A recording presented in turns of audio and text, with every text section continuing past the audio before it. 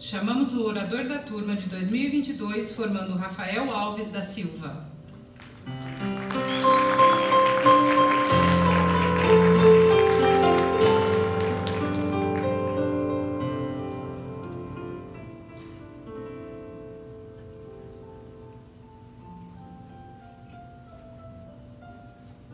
Boa noite.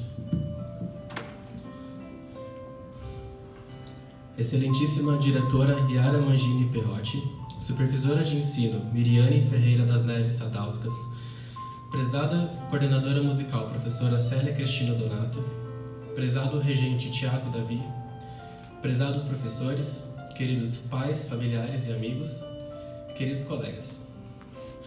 É, gostaria de iniciar fazendo dois agradecimentos. O primeiro a todos que estão presentes nessa noite tão especial para nós, e o segundo aos meus colegas de classe, por me darem o privilégio de ser orador da nossa turma. Passou tão rápido que nem parece que já faz três anos que damos início ao que pode ser comparado com o primeiro compasso de uma sinfonia. Nossa sala, como o professor João bem disse, era composta por 15 músicos, e assim como em uma orquestra, cada um teve sua importância. Não demorou muito para que começássemos a criar laços uns com os outros, da mesma forma como fazem os sons dos instrumentos em um concerto. É impossível contar nossa história sem falar da pandemia do coronavírus, já que ela aconteceu no mesmo ano que iniciamos nossos estudos. As incertezas eram grandes. Se fosse possível descrever musicalmente esse momento, com certeza seria comparando com uma mudança brusca de tonalidade e andamento. Nossos metrônomos saíam de um alegro e iam para um adágio, e as preocupações eram grandes. No entanto, como também bem disse o professor João, nossa turma brilhante transformou esse momento de dificuldade em força e superação. Foi durante nossa adaptação às aulas online, passando horas em frente às telas de computadores e celulares, que nossos laços se firmaram. E a principal característica da nossa turma se fez presente: a união.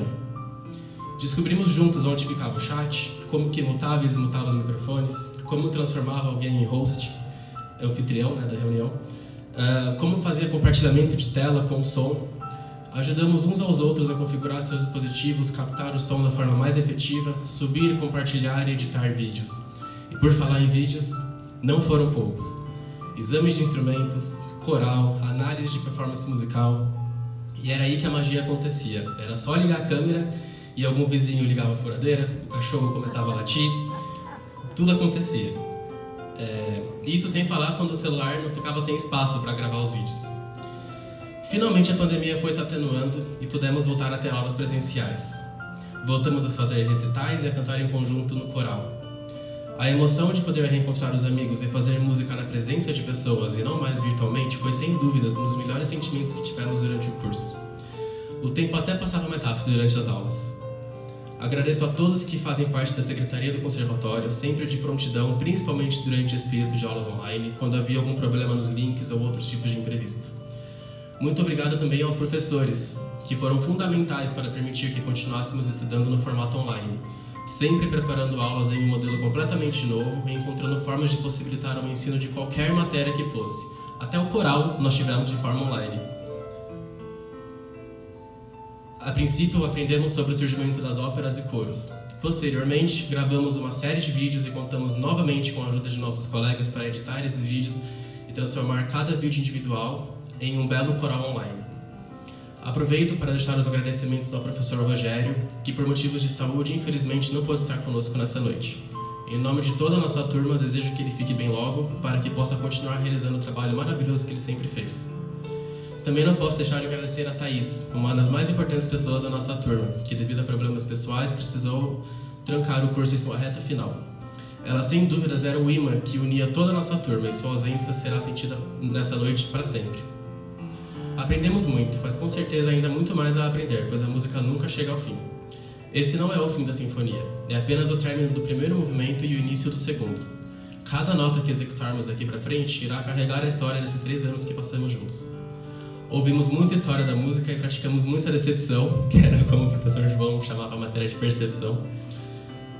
Fizemos muitos planejamentos de aulas em práticas pedagógicas, muita pesquisa e análise de performance musical. É, Planejamos ensaios para praticar música de câmara e usamos muita borracha em contraponto. Tudo sempre com muita harmonia. É, a música é infinita e sempre nos acompanha, transformando e intensificando cada momento de nossas vidas, sejam eles alegres ou tristes. As canções de Ninar que nos colocam para dormir quando somos bebês, as trilhas sonoras de desenhos e jogos quando somos crianças, as músicas de amor de quando somos adolescentes apaixonados, as baladas e festas da vida adulta, nossos temas de casamento de quando encontramos nosso par, os hinos das igrejas que tocam em meio aos nossos agradecimentos pelas, pelas nossas vitórias e sonhos realizados. A música, as músicas que acompanham e ajudam a escrever nossa linha do tempo são tão complexas que são necessários cinco linhas para colocar as notas de cada parte de nossa história. Aproveitem cada nota de suas vidas e incentivem sempre a música dentro de suas lares, pois ela é capaz de transformar. Já dizia Nietzsche, sem música, a vida seria um erro.